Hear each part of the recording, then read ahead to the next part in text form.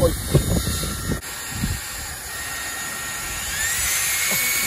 おいおい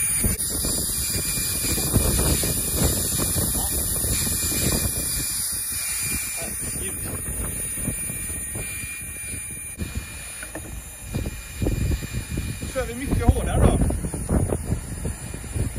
Det som är så tråkigt.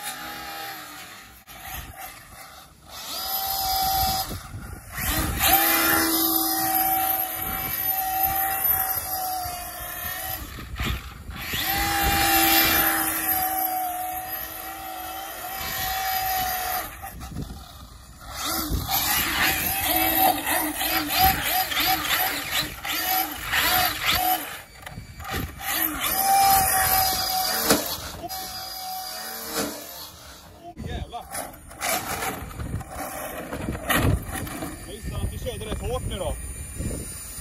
Det hände något med det däcket där. Det hade kunnat vara värre, det hade kunnat vara mitt däck. Konstant fullgas.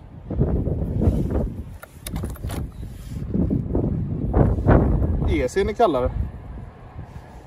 Sen det är ju inte direkt att jag sprängde ett däck. Jag sprängde en fälg. Så då förstår man hur, hur, hur hårt det gick. Men faktiskt, de har inte slitit så mycket. Ändå.